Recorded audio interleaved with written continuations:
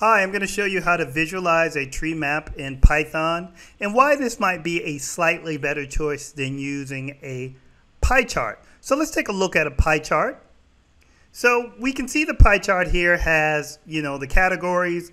It's kind of difficult to discern. We can definitely see by the size that United Kingdom is the highest in proportion, but when we get to the smaller levels, it gets a little bit more difficult.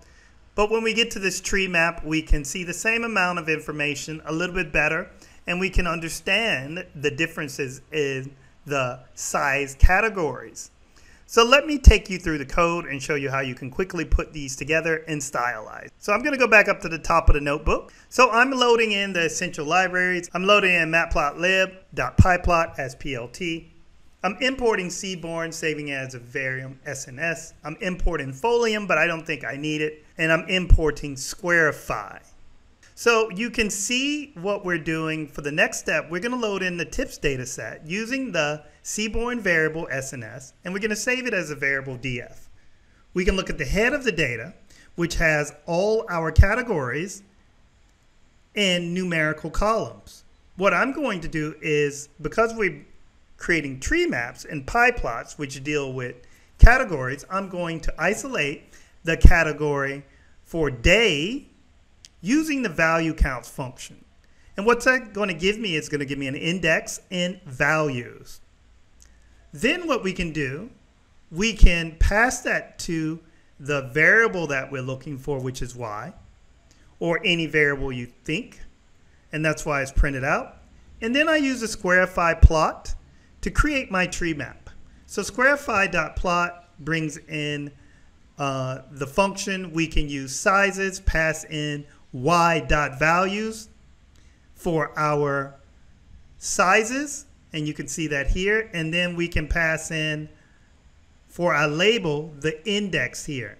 And as you see, this is um, kind of randomized by colors, but I'll show you how to stylize this in one second. And I've also taken off the axis just to get a better look so we don't have the numerical axis on X and Y. We're going to do the same thing where we're going to bring in the diamond dataset from Seaborn using the load dataset function, saving it as a variable df. We can take a look at the head of the data, and we are going to isolate the clarity category. I'm just passing in y, which is df dot clarity dot value counts. That's going to give me my value counts with the index with the categories. I'm doing the same thing by using the squarify plot, getting the sizes, and passing in the label with the index, taking off the axis. Now what we can do to control the colors in, we can use the color parameter. So I'm going to show you how to do that. I'm just going to paste in the colors and these are just random colors. You can definitely make these to anything you want. They need to match the amount of categories you have here. So I'm going to run that for you. And you can see we have control over the particular colors in the category. So you can really isolate what you want to show the difference.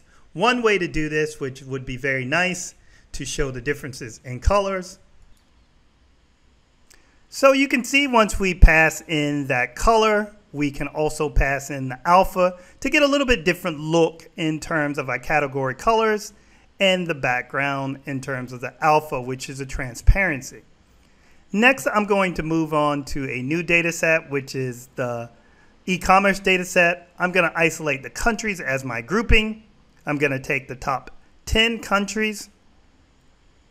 I'm going to create that grouping and make sure I only bring in the 10 with the head value. Then what I'm going to do is stylize this a bit more so I can bring in the size. So I'm using plt.figure.fig size to bring in uh, a larger figure here. And I'm also using the font size to ensure that I have a bigger font. I'm taking off the axis, but we can go one step further by passing in the percentages here.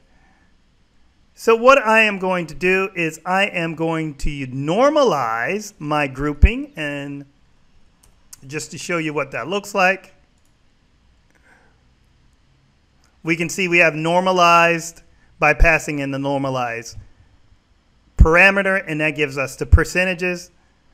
Then what I'm going to do is I am going to create a new label by taking my values and adding it to the category label. And the way I'm doing that is with string comprehension. So what I'm doing is I'm taking the string, getting the percentage for each one of the values. And then that, what I'm doing is now making a list of the index plus the new percentages here. Then all I need to do is go back. I can add my background, add my font size, add my figure size, and then within the Squarify plot, I can just for sizes keep my values, but labels, I can use my new label variable here to pass in the particular percentages. So that's just a quick and easy way for you to have an option to use a tree map instead of a pie chart. Thank you.